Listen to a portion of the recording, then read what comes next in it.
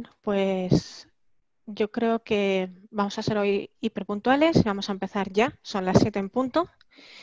Eh, bienvenidos a todos a Hispania Nuestra Contigo en Casa, una nueva sesión con Manuel Gracia, que como habéis visto en la presentación que os enviamos por correo electrónico, es coronel médico retirado, especialista en microbiología y medicina preventiva es además académico numerario de la Real Academia de Nobles y Bellas Artes de San Luis de Zaragoza. Bueno, otras muchas cosas que me vas a perdonar que obvie porque son, es un currículum extensísimo y muy prolífico, pero voy a destacar sobre todo tu actividad, sobre todo tu actividad como, como miembro de Hispania Nostra, que estás con nosotros desde los orígenes y actualmente es delegado de Hispania Nostra en Aragón y forma parte de la Junta Directiva.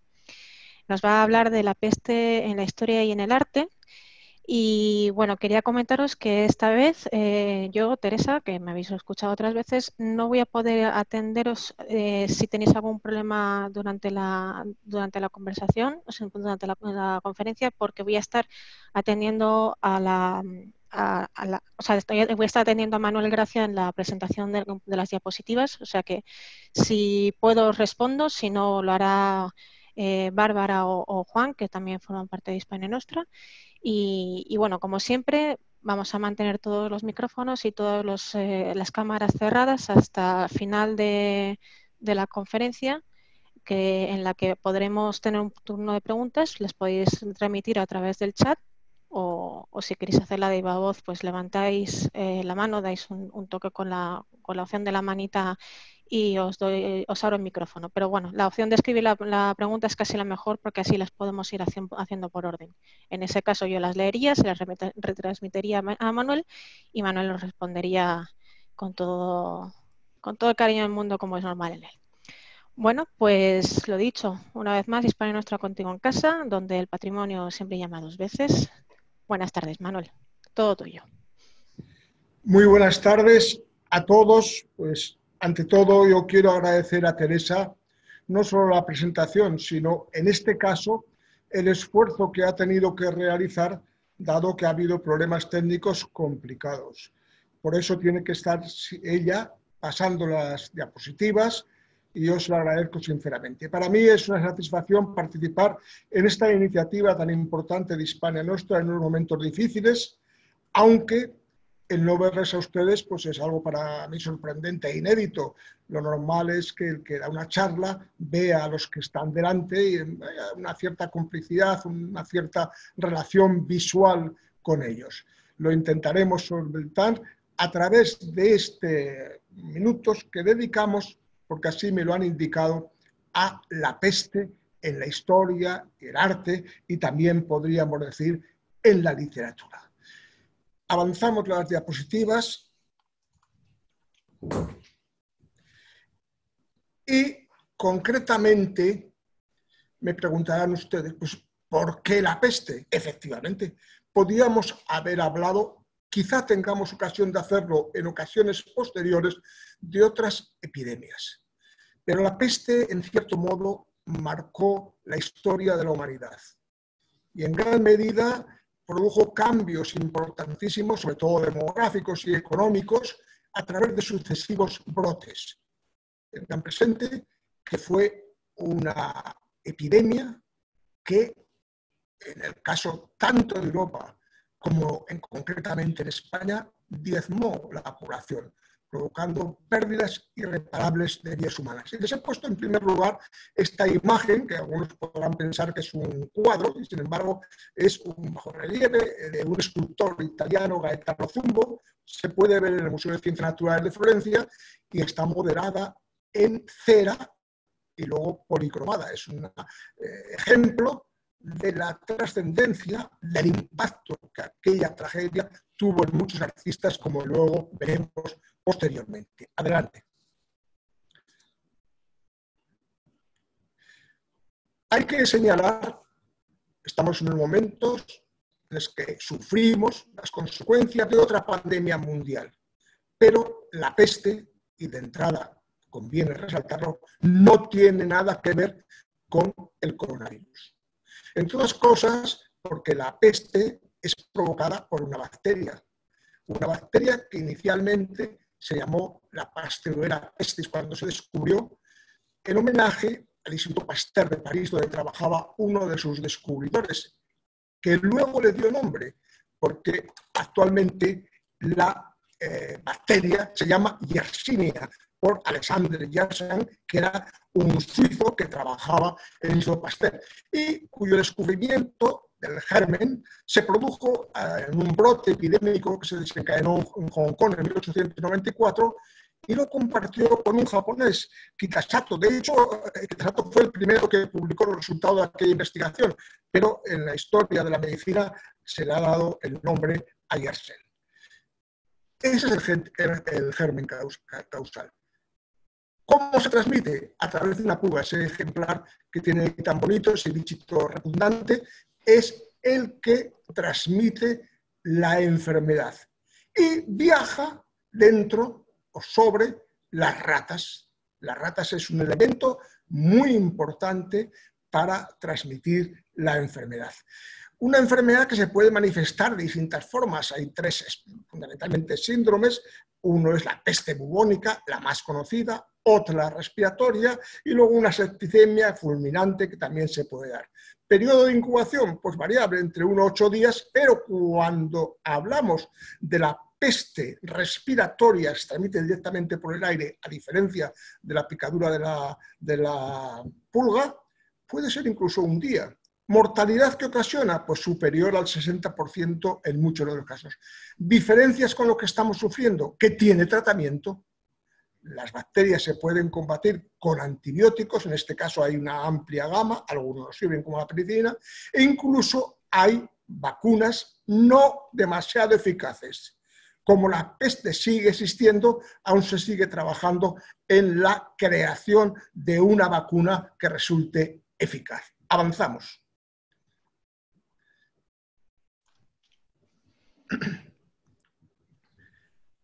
Bien, siempre lo han oído ustedes hablar en multitud de ocasiones, que está asociada a esa rata negra, que es el bichito que está en la parte superior. Lo que ocurre que, eh, concretamente, uno de los brotes más importantes que ha habido, que es el del siglo XIV, todavía objeto de investigación, fíjense ustedes en el futuro, los trabajos que va a dar lugar la actual pandemia. Eh, en el siglo XIV, eh, los últimos investigadores que están trabajando sobre eso discuten, dudan incluso de que fuese una peste bubónica clásica. E incluso hablan de que no fueron las ratas, sino los jaramillos, otros pequeños roedores, los que la ocasionaron. Pero en general, nosotros hablamos siempre de la peste negra en relación con la rata negra, que se diferencia, y lo van a ver en la siguiente diapositiva, con la que todos conocemos, la que está situada a la izquierda de la imagen, es la, rata eh, noruega, la ratus norbergicus, que es esa rata que ven en las alcantarillas, que ven en todas partes, mientras que la otra es la rata negro, negra ratus ratus. ¿Cuáles son las diferencias? La rata norbergicus es más grande, cola más larga, un hocico más afilado, la otra es más corta, eh, más chata. ¿Qué ha pasado? afortunadamente para nosotros, la, rata norbergicus no suele ser vector de la enfermedad. Y entonces en nuestro ambiente, en nuestro medio, ha ido desplazando a la rata negra, pues eh, casi confinándola a los campos, en definitiva, eh, pero no os engañen, la peste sigue coexistiendo con nosotros. Avanzamos. A la hora de hablar de la peste, yo podía haber hecho referencia a muchos brotes epidémicos, porque los ha habido, los sigue habiendo incluso en nuestros días, más reducidos, más pequeñitos, pero los hubo en época griega, luego al final, si hay tiempo, haremos referencia a ello, en el Imperio Romano, pero en la historia nuestra, sobre todo referido a España, a Europa, hay una cosa paradigmática, que es la gran peste del siglo XIV. Esa fue una tragedia de alcance incalculable. Eh, se extendió entre 1347 y 1353 y la cifra de fallecimientos no se puede calcular no podemos calcular lo nuestro como para calcular lo de entonces, pero hablan de unos números tan importantes como prácticamente ocasionó la muerte entre el 40 y 60% de la población. Por referirnos solamente al caso de España, dicen que pudo haber pasado de 6 millones de habitantes que entonces había a 2 o dos y medio. Aquí ocasionó cerca del 65% de muertos entre la población. Realmente son cifras estremecedoras. Entonces, eh, pues bueno, quedó reflejada en estas imágenes. En la siguiente que vamos a ver inmediatamente hay un aspecto muy interesante que eh, el pintor, el, el, miniaturista, ha dibujado ahí a un hombre y una mujer eh, enfermos. Y si se fijan con detalle, verán que tanto en las piernas como en el pecho, como en varios lugares del cuerpo, aparecen esos bubones característicos de la enfermedad. Y precisamente esta imagen es lo que ha hecho dudar a algunos de que fuese la peste bubónica característica que conocemos, porque los bubones son más reducidos y circunscritos a determinadas partes de la anatomía. No hay esa generalización que ven en estas imágenes, que por otra parte pudo ser una licencia artística del autor. Seguimos adelante porque esta peste es la peste del Decamerón. ¿Quién no ha oído hablar de el Decamerón, de Boccaccio?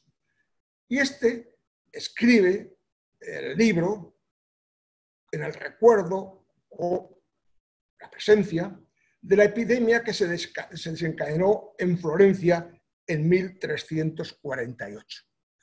Y lo que finge, o lo que recrea, pudo ser realidad. Un grupo de jóvenes, en concreto 10, 7 mujeres y 3 varones, se desplazan a una finca de los alrededores para confinarse, para intentar evitar la epidemia y allí toman la iniciativa de entretenerse. Eso lo hacen muy bien, es un confinamiento muy interesante en el que se proponen que cada tarde uno de ellos, cada uno de ellos, relatará un cuento, un cuento de contenido erótico, por lo tanto, 10 cada día. Como estuvieron 10 días, el de Camerón se compone de 100 de esos relatos al que luego Boccaccio añade por su cuenta uno más. En realidad son 101. Esto ha tenido un eh, influjo enorme en la, pintura. Estas eh, imágenes que aquí ven son de, época relativamente reciente, son del siglo XIX, concretamente de Podesti en 1851 y de Waterhouse en 1916, pero que no siempre son muy reales. Yo, eh, se habrán fijado que en el de la izquierda, si se toman la molestia de contarlos, en lugar de las siete mujeres y tres hombres aparece una mujer más. No sé si sería la cocinera o a quién ahí. Pero en realidad, como les digo, para que coincidan esos 100 relatos, fueron de 10 personas las que se aislaron en aquella maravillosa eh, finca de los alrededores de Florencia. Y el de Camerón, lo vamos a ver a continuación, ha tenido también su reflejo en el cine. ¿Quién nos recuerda, y perdonen que, les diga para mí, esa horrible película de Pasolini? Digo horrible no porque Pasolini no fuera un gran cineasta, sino porque es una película dura, de escenas, pues, como era característico el cine de Pasolini, en el que, bueno, pues un contenido, ya te digo, acre, antirreligioso en muchos aspectos. Y a mí, esto es un capricho personal, me gusta mucho más una que hicieron años después, concretamente Pasolini la hizo en 1971, y los hermanos Paolo y Vittorio en 2015, una relamida versión del de Camerón que se llamaba Maravilloso Boccaccio. Y no crean ustedes que, bueno, para mí tienen un entrañable significado, dado que ya me encuentro en una edad avanzada, es que tanto eh, Paolo como Vittorio tenían la edad de 85 y 87 años y tenían todavía ganas de hacer películas. Así que fíjense ustedes las posibilidades que se me ofrecen a mí incluso de iniciarme en el mundo del cinematógrafo. Seguimos adelante, Teresa, porque hemos hablado ahora del siglo XIV, pero la peste estuvo ahí. Brotes en el XVI los hubo, hablaremos ahora de ellos, pero en el 17 se registró otra gran pandemia, cuyo reflejo más espectacular fue lo que se llamó la Gran Peste de Londres de 1665. Cerca de 100.000 muertos ocasionó en la ciudad. Hay cantidad de obras que reflejan esos momentos pavorosos a los que vino a sumarse por aquello de que las desgracias nunca vienen solas, en nuestro caso ya verán cómo tampoco, seguimos la siguiente con el incendio de 1666, en el que la ciudad de Londres quedó completamente arrasada, lo que entre otras cosas permitió su reconstrucción mucho mejor porque las casas de Londres en ese momento eran esas casas típicas de madera que ardieron como yesca y mm, pues no hay mal que por bien no venga. Es algo parecido a lo que ocurrió en Lisboa con el gran terremoto del siglo XVIII, que por cierto estos días hay varios especialistas que advierten de la posibilidad de que en un momento determinado, no sabemos cuándo, pero sabemos que ocurrirá, se volverá a reproducir con un maremoto que también afectará a las costas españolas como ocurrió entonces. Seguimos adelante porque esta peste está asociada a varios hechos y circunstancias.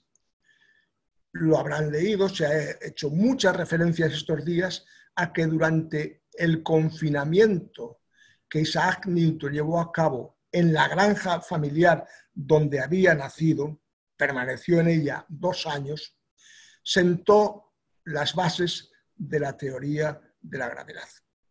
Y siempre se hace referencia a esa historia completamente falsa de la manzana cayendo que él le llevó a ni la teoría se formuló en ese periodo, aunque sí que realizó aportaciones muy importantes que luego fue elaborando, ni posiblemente, casi con seguridad, bueno, aunque esa reflexión pudo darse en algún momento, la manzana fuera un factor decisivo a la hora de eh, recapacitar sobre ella. Pero lo cierto es que el manzano existe. En la fotografía inferior ven el manzano de Newton rodeado de una verja, que es un objeto auténticamente de culto. No les digo usted eh, eh, conseguir una manzana de ese manzano que la sigue produciendo, pues es como un poco menos que conseguir las manzanas de oro del jardín de las Hespérides. Y el que no consigue manzanas lucha hasta límites insospechados por conseguir un esqueje de ese manzano. Y en España tenemos uno. En el año 2005, el Ayuntamiento de La Coruña o La Coruña consiguió un esqueje para el Parque de Santa Margarita, donde ustedes lo pueden ver que está allí. Otro autor que se relaciona con él es William Shakespeare, con la peste me refiero. No exactamente con el brote de, de esa época, pero sí que han señalado los que investigan sobre su vida, vida por otra parte siempre llena de sombras y sumamente complicada, como todo el mundo conoce, incluso a veces se ha llegado a dudar de la identidad del propio personaje, se dice que en un confinamiento de esos escribió nada menos que tres de sus obras más importantes, El Rey Lear, Macbeth y Antonio y Cleopatra. Le dirán, ¿por qué ha puesto entonces ahí Romeo y Julieta? Pues porque Romeo y Julieta, y esto lo conocemos todos, la peste juega un papel importante en el desenlace de la tragedia. Eh, se ha llevado al cine, recordamos aquella magnífica versión de Cefirelli de 1961 y la posterior en la que el protagonista mm, fue Leonardo DiCaprio. ¿Cuál es el papel que juega la peste? Pues todos saben que cuando Julieta bebe el brebaje que le prepara aquí el fraile para hacer la, dar la impresión de que ha muerto cuando en realidad está dormida, él manda un emisario a Romeo diciéndole, no te preocupes, que aquí no ha pasado nada. Pero cuando el emisario llega, un brote de peste le impide entregar la misiva, con lo cual eh, Romeo se suicida y Julieta después termina, pues como todos ustedes saben, en una auténtica catástrofe, aquel engaño urdido para hacer prevalecer el amor entre estos dos muchachos. Seguimos adelante porque esa peste del siglo XVII sí que afectó a España y afectó a España de manera muy grave. Solamente en Sevilla, y esa imagen da una, idea, está en el Hospital del Pozo, de, cómo estaban incluso los cadáveres por las calles, el ambiente ese lúgubre y triste que siempre acompaña a una pandemia, murió el 40% de su población. Eh, insisto, las cifras, eh, serían una ciudad muy importante en aquellos momentos. Las cifras siempre hay que considerarlas pues, con la precaución, pero que, que, fueron importantísimas. Y en el caso de Aragón, donde ahora en este momento me encuentro, los estragos fueron terribles. Vino a sumarse además a un hecho. Como todos recuerdan, en 1610 se había producido la expulsión de los moriscos y los moriscos constituían la base de la agricultura del reino, de varios de los reinos aragoneses. Entonces ya aquello desencadenó una crisis económica porque no la producción decayó notablemente. Si a eso unimos las cifras de fallecimientos que hubo, hemos de decir que realmente en el caso de Aragón, tanto demográfica como económicamente, mm, pues fue seguramente uno de los momentos más críticos de nuestra evolución histórica.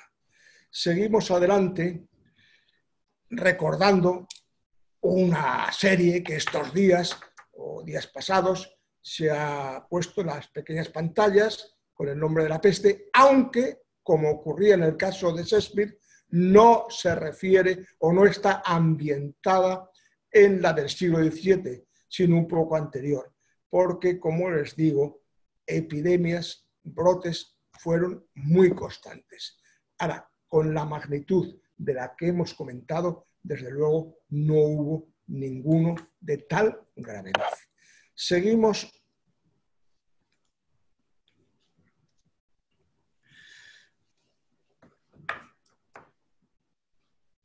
Ante esta situación, ante el terror que provocaban estas epidemias de las que no se sabía nada, ni se sabía cómo se transmitían, ni qué las provocaba. a veces nos puede sorprender, pero volvamos a nuestra, la vista a nuestro entorno actual. ¿Qué sabemos en realidad de esta epidemia? Nada.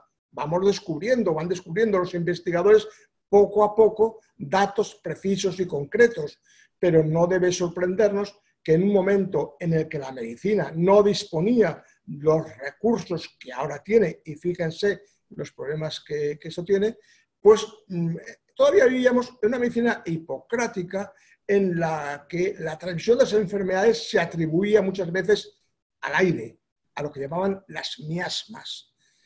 venía. Entonces, los médicos que iban a atender a los enfermos y que coste que los médicos atendían a las clases más privilegiadas, se dotaban de ese extraño uniforme, que es una imagen súper difundida y más en estos días, porque lleva, aparte de esa gran eh, ropaje largo, lleva esa extraña mascarilla en forma de pájaro que pretendía ser la barrera eh, frente a la transmisión de ese aire contaminado. Eh, podríamos reírnos, pero yo comento estos días que algo parecido estamos viendo en los vaivenes que, nos llegan, noticias, mascarilla sí, mascarilla no, es conveniente, no es conveniente. en el siglo XVII, en el siglo, que es sobre todo esta época, ¿para qué servía esa mascarilla? Para nada, porque la, peste no se transmitía por, el aire, salvo el caso de una peste eh, neumónica. Pero ese pobre médico con esas ropas largas, mm, por el aire no, se contagiaba, pero las pulgas, mm, pues no sé, entrarían por debajo del hábito y desde luego si tenía que morir, moría por ellas. Adelante. Y estas mascarillas, ¿quién no las recuerda? Eh, han hecho furor. Eh, en este momento eh, las pueden ver casi como un símbolo. Hay otras mucho más bonitas, pero están muy frecuentemente presentes en el Carnaval de Venecia. incluso los trajes de estos personajes que les he puesto, pues recuerdan un poco a los de esos médicos. Ya digo que las caletas del Carnaval de Venecia no se circunscriben a este modelo. cuando vamos allí a Venecia, o íbamos, no sé si volveremos alguna vez, pues eh, siempre nos llamaban la atención esas que ofrecían, en unos casos como meros souvenir turístico, otros casos de más calidad, máscaras verdaderamente bonitas y muy bien trabajadas. Ese era uno de los remedios, la protección. Pero había otros, y pasamos a la siguiente diapositiva, y este, pues mire, este ha sido hasta ahora el remedio más eficaz en las pandemias. No sé cómo no lo hemos hecho estos días. Es encender hogueras en las calles para purificar el aire. Hasta nuestros días porque en la fotografía de la derecha corresponde a otra película que muchos de ustedes conocen, Muerte en Venecia, en la que Dick Bogart, el papel magnífico del protagonista, decide quedarse en la ciudad eh, después de haberse desencadenado una epidemia, en este caso de cólera y no he encontrado fotos directas, lo he encontrado él cuando ya se dirige hacia la playa ya prácticamente a morir, pero al atravesar la ciudad, en varias calles y plazas, están quemando hogueras. Esa hoguera era algo sumamente frecuente, a la que incluso se le añadían eh, productos irritantes, todavía era mejor aquello. En los barcos de los siglos XVI y XVII, donde las epidemias provocadas por otras enfermedades, eh, otros agentes, como el caso del tifus antemático, que algún día hablaremos de él, pues eh, lo que se hacía era en los sollados quemar saumerios. Se llevaban matas de brezo, plantas aromáticas que se quemaban porque creían que eso contribuía a purificar el aire. Pero incluso ha habido brotes epidémicos en los que se aconsejaba a los varones que saliesen a la calle a fumar compulsivamente, porque decían que el tabaco también contribuía a purificar el aire. Lo del tabaco es curioso porque ahora recientemente han salido unos estudios que contra lo que cabía esperar en el caso del coronavirus no se ha visto, a menos una relación directa entre el, consumo de tabaco y la gravedad de la enfermedad. Eh, ya sería de chiste que el fumar protegiese contra el coronavirus. Desde luego no lo creo, pero lo cierto es que contra lo que parecía más lógico, que las personas que tienen los pulmones más afectados por un consumo habitual de tabaco, pues no, no, no se ha establecido una relación directa. Adelante. Hasta ahora lo que les hemos comentado, o que les he comentado, casi es anecdótico, ¿no? Ni los trajes de los médicos servían para nada, ni las hogueras tampoco, ni otras muchas medidas disparatadas que se adoptaban. Allí se moría todo el mundo sin saber por qué. Pero cuando ya se tuvo conciencia de que eso se transmitía fundamentalmente a través de los marcos, aunque no se conociese el papel que jugaban las ratas, ni siquiera se conocía eh, la gente, fue muy tarde, en el siglo XIX, pero ya en el siglo XVII y sobre todo en el XVIII, se estableció un sistema que contribuyó muchísimo a frenar la propagación de las epidemias, concretamente las cuarentenas. ¿Esas cuarentenas qué eran? Pues en todos los países existían unos lugares apartados con lazaretos, en donde se obligaba a fondear a los buques que, que llegaban de fuera sin patente de sanidad. O incluso cuando había sospechas de que esa patente podía haber quedado invalidada por algún eh, fondeo en otro lugar de la navegación. En España tenemos varios ejemplos. El más conocido es el Lazareto de Mahón, que está prácticamente en muy buen estado, dado que tiene otros fines residenciales. Y como ven ustedes, eh, está en el puerto, en un islote aislado y rodeado de esa muralla porque realmente era un confinamiento serio y, duro. Lo de los 40 días, hay una historia detrás de ello, por qué fue en los 40 días, y por eso ha dado el nombre de cuarentena. Era el periodo que se consideraba más adecuado para garantizar que aquellas eh, dotaciones, aquellas tripulaciones estaban libres de la enfermedad. Pero les he hablado de las patentes. En la siguiente diapositiva vamos a ver qué son esas patentes. Y la verdad es que las patentes, y en este momento un distinguido profesor está haciendo un trabajo de, Almería, está haciendo un trabajo magnífico recopilando patentes de sanidad, que son estos documentos impresos, bellísimos, como ven ustedes, son grabados de excelente calidad, generalmente con eh, motivos relacionados con el puerto donde se, se, emiten e incluso con los santos protectores que hay en ellos. Y que entregaban las autoridades sanitarias del lugar donde el barco zarpaba diciendo, este buque, esta dotación está sana. Y con esa patente al llegar al puerto, subían los agentes de sanidad, se la entregaban, la conservaban y a la salida expedían otra con destino al puerto de puerto de destino. Pasamos a la siguiente, porque remedios eficaces. Pero miren ustedes, no serían eficaces las hogueras, las mascarillas y todos esos medios. Toda la gente volvía sus ojos hacia el cielo buscando una protección celestial. Y en concreto, eh, pues, que más y que menos, hubo unos santos especializados en proteger contra la peste. Y el más conocido, de todos es San Roque.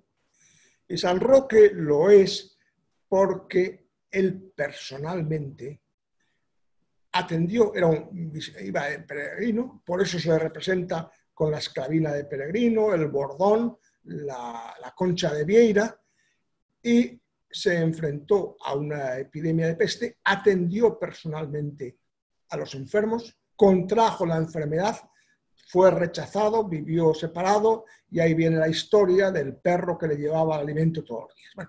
en cualquier caso, San Roque se convierte en un gran valedor.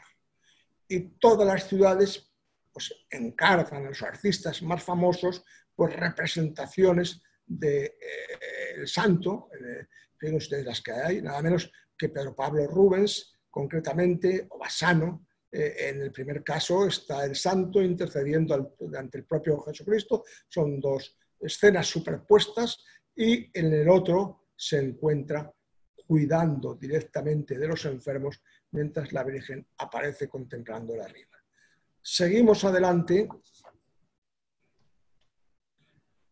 para demostrarles que no hay rincón prácticamente en España en casi todos los sitios, en el resto del mundo igual, en el que no haya alguna imagen de ese santo que tiene la característica, y en la imagen derecha lo ven muy bien, que aparte del perrito con el pan y su traje de peregrino, levanta un poco el sayal de, peregrino para mostrar esa pierna con una de las úlceras, con uno de los bubones de la peste.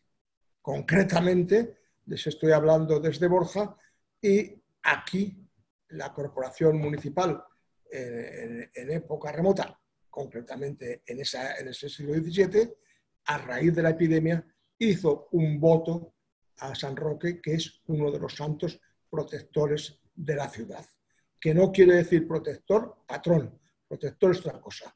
Aquí concretamente tenemos a San Roque y a San Juan, pero seguimos adelante.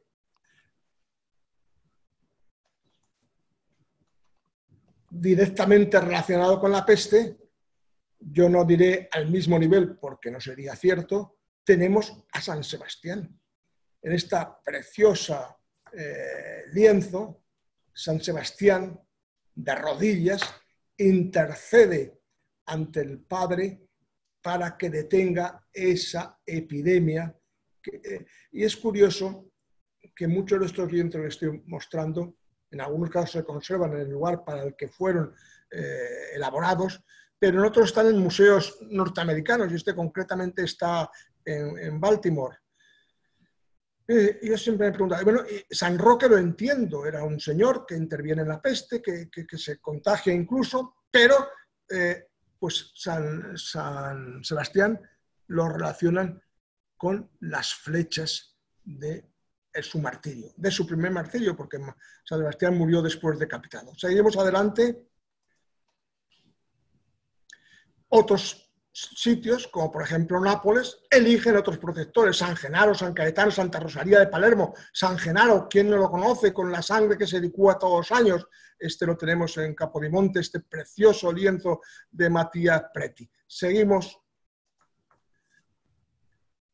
Budapest elige a San Agustín, y aquí tenemos eh, en el Museo de la Ciudad otro rompimiento arriba con eh, San Agustín, con sus atributos episcopales como obispo que era Dipona, de rodillas, mientras abajo está intercediendo por esa multitud de afectados por la epidemia que están abajo. Seguimos adelante.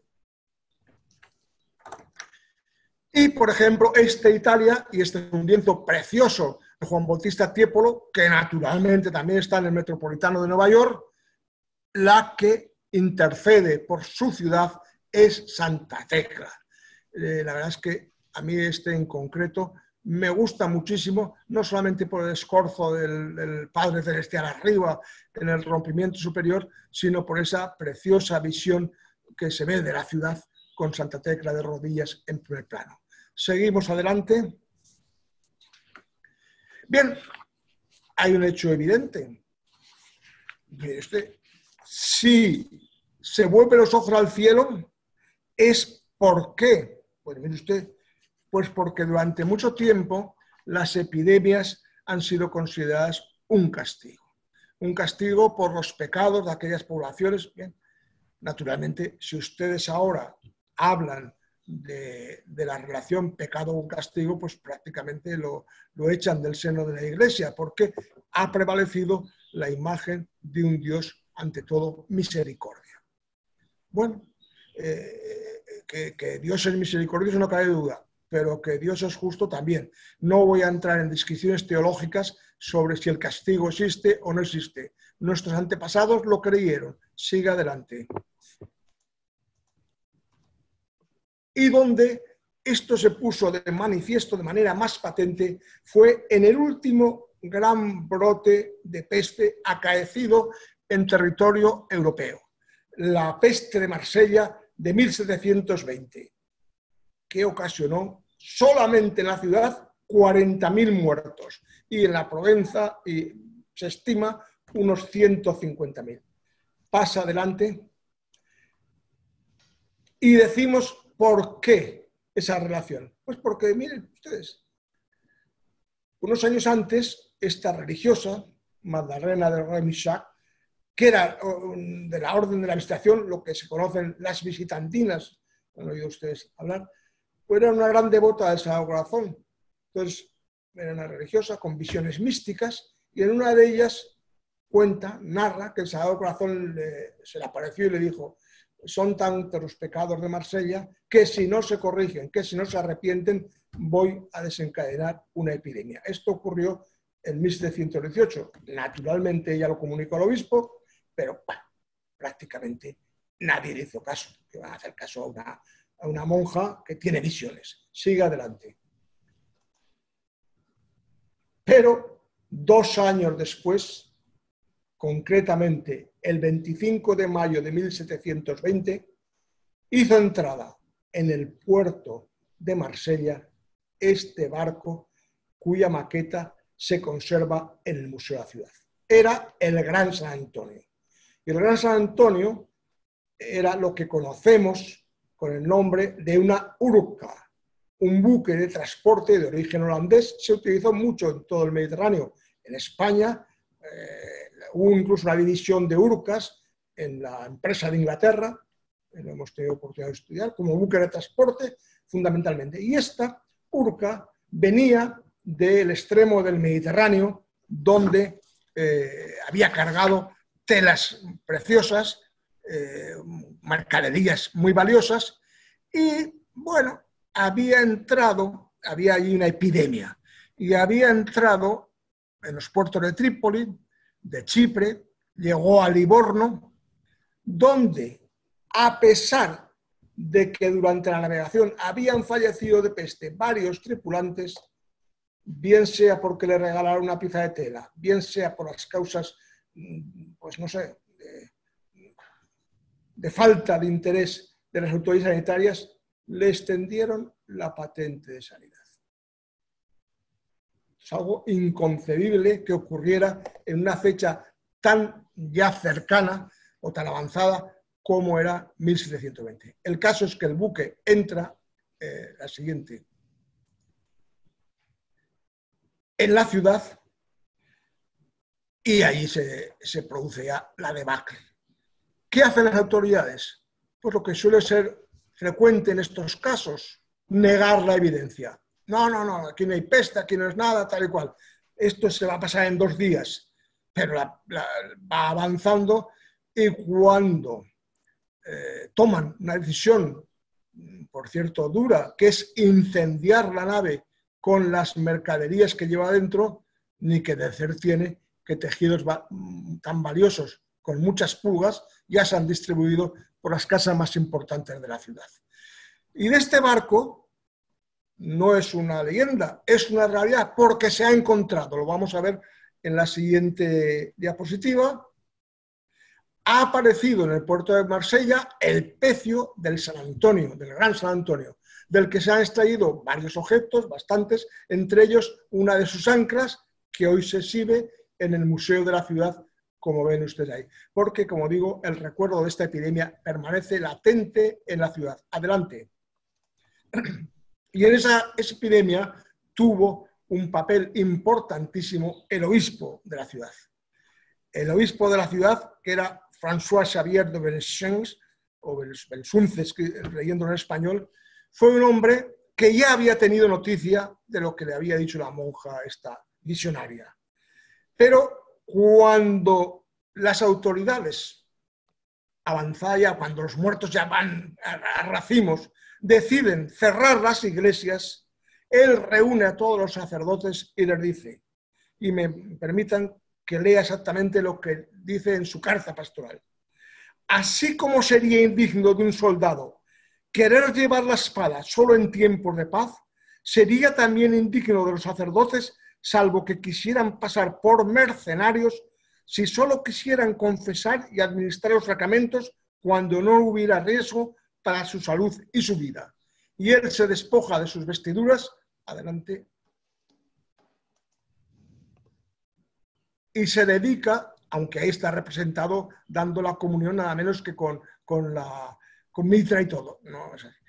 Y dos sacerdotes siguen a su obispo, atienden a los infectados, mueren muchísimo, pero adelante no solamente los sacerdotes, sino también los laicos. Y hay un caso verdaderamente espectacular, que es el caballero este de Ross, que se encuentra con que los cadáveres, cientos de cadáveres putrefactos, están abandonados en las calles. Y él decide asumir la responsabilidad de enterrarlos. ¿Y cómo hace? Habla con las galeras, buques de guerra, surtos en el puerto y pide unos galeotes, los forzados, los condenados que remaban en ellos, los lleva allí les regala a cada uno un pañuelo impregnado en vinagre, porque el olor era nauseabundo, les da una ración de, de vino, baja del caballo. ¿Qué hay que hacer? Arrastrar estos cadáveres hasta el sitio de su sepultura con cal que hemos dispuesto. las consecuencias fueron que limpió los cadáveres y consiguió matar a todos los galeotes y a todos los soldados que los protegían. Lo sorprendente, como era un hombre bueno y lo había hecho todo por amor a Dios, él no se contagió. Yo pienso que porque siguió subido encima del caballo y las pulgas no llegaron a alcanzarle. Pero el caso es que sobrevivió. También sobrevivió el obispo, aunque ese se comprometió más. Adelante. Bueno, eh, avanzamos rápidamente, ya queda poco tiempo, la cosa no paraba, eh, el obispo le dice a la visionaria, a la, religiosa, eh, pregúntale al corazón de Jesús qué tengo que hacer, adelante.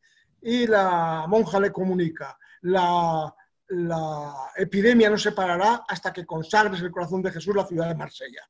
Y contra la opinión de las autoridades que prohíben las manifestaciones multitudinarias, el 1 de noviembre de 1790 el obispo organiza una gran procesión en un altar donde esta no es la, del momento, sino la, recreación del centenario en 1890.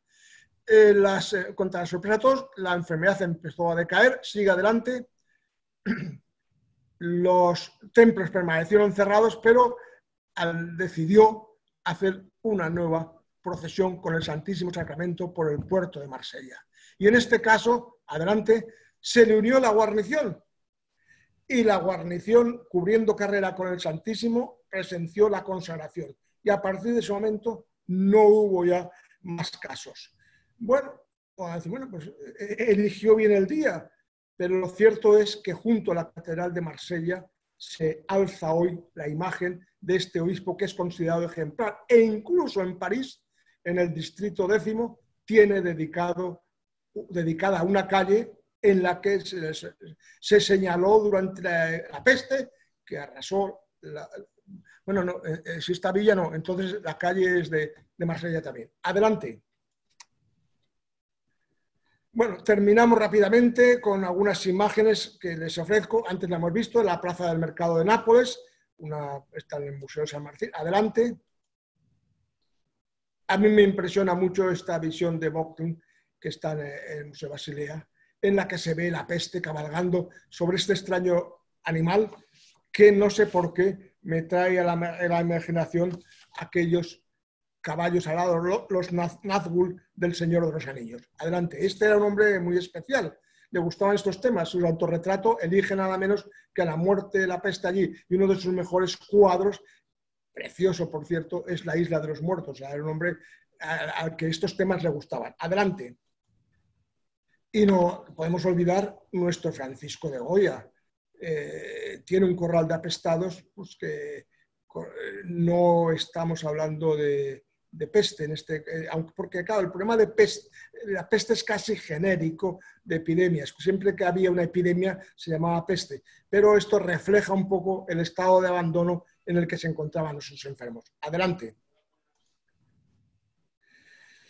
Hemos hablado anteriormente de que la peste ha estado siempre frecuente en la historia de la humanidad. Este es una representación del siglo XVII de una gran epidemia de, peste en la antigüedad, concretamente en Atenas, que ocurrió el año 430 durante la guerra del Peloponeso y como consecuencia de la cual murió el gran Pericles. Sigue adelante. Y en Roma hubo varias epidemias. Quienes han estado en el Museo Dorsey habrán visto este cuadro de la, de Noy, que es sobre la peste de Justiniano. Terrible peste. Entre 541 y 750 se extendió durante bastantes años y dicen, evalúan en cerca de 50 millones las víctimas. Para la población entonces esto es auténticamente estremecedor. Sigue adelante. Eh, en este recorrido. Terminamos con esta imagen de San Carlos Borromeo en la peste de Milán, también eh, muy interesante, muy bonito. Sigue adelante. Podríamos hablar de otras epidemias, podemos hacerlo. En concretamente, a mí me, me interesa, la del tifus antemático, fue un azote en las grandes concentraciones militares, en los buques de guerra. Tuve la fortuna de descubrir un documento en el que demostraba fehacientemente que el marqués de Santa Cruz, el que tenía a su cargo la, jornada de Inglaterra antes del duque de Miasena, murió no por los disgustos que le provocó Felipe II, sino por lo que en el documento aparece claramente especificado. Hoy comenzó un tabardillo de pintas coloradas. Tabardillo es la fiebre, el tifus, y pintas coloradas son esos antemas característicos de esta epidemia. Verdaderamente apasionante es la fiebre amarilla. Nos ocasionó muchos problemas en Cuba, pero ahí hay un tema que llama poderosamente la atención, es cómo se descubrió el mecanismo transmisor, en el cual sigue adelante. Sigue adelante.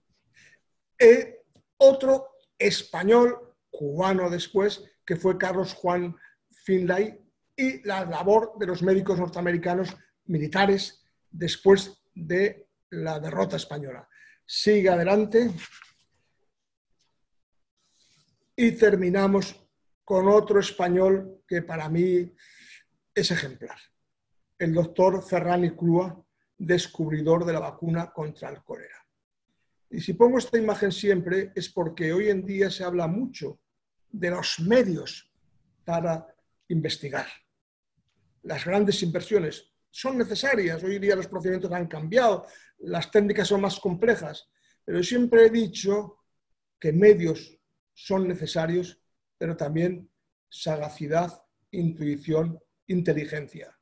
Y el doctor Ferran, en esa mesita con un microscopio casi prehistórico, cuatro tubos de ensayo y dos frascos, fue capaz de construir, de aportar a la humanidad algo tan importante como es, como fue la vacuna contra el cólera, que aún tuve la ocasión de inocular o de, de inyectar en la última epidemia de cólera que hubo en España, en el año 1970 en Aragón. Creo que con esta hemos terminado prácticamente en el tiempo previsto y yo les agradezco su atención y siento muchísimo no haberles podido ver eh, las caras directamente, como siempre es el deseo de toda persona que interviene en una charla. Muchas gracias. Pues muchísimas gracias a ti, Manuel. Eh, una vez más, súper interesante tu, aportación y nos quedamos con las, los inicios de otras epidemias de interés que nos has propuesto para otras eh, conferencias como la del tifus, la fiebre amarilla o el cólera. ¿Nos podrás hacer todas o en varias sesiones o lo, o lo vamos viendo? A ver, me, Em, están escribiendo muchas personas diciendo que muy ameno, que muy, muy interesante, fantástica conferencia. En general, todo el mundo te está dando la enhorabuena, Manuel. No sé si alguien tiene alguna pregunta. Em, mandan saludos de, de, todas partes de Granada, de, incluso he leído de Chile, si no recuerdo mal. Y eh, también de, desde Navarra. A ver. Sí, pregunta Lola. Sí, pregunta. Lola. Me gustaría saber si, sabe por qué aparece de pronto, si, que por qué aparece de pronto. Es súper mortífero y luego se va para luego aparecer de nuevo la, peste. Eh, ah, bueno, eh, generalmente todos los brotes epidémicos tienen un, un ciclo. Efectivamente, aparece con extraordinaria virulencia y va decayendo. En el caso que concretamente de la peste, eh, pues hay una cosa que no he dicho y que creo que es interesante que todos tengamos conciencia de ello.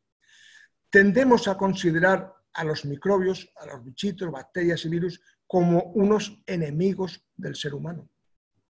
Y eso no es cierto. Bueno, entendámonos, no es cierto.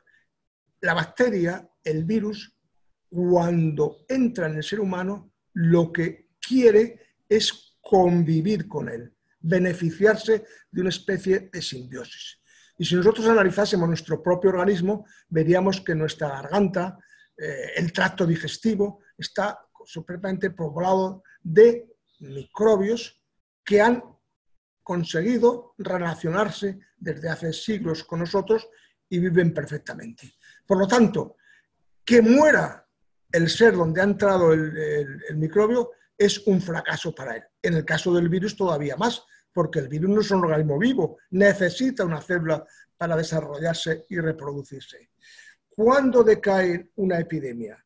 Pues cuando se crea una inmunidad. Estos días estamos hablando de esto. En el caso eh, de la peste, además, influye muchísimo también el descenso en la población de los animales vectores.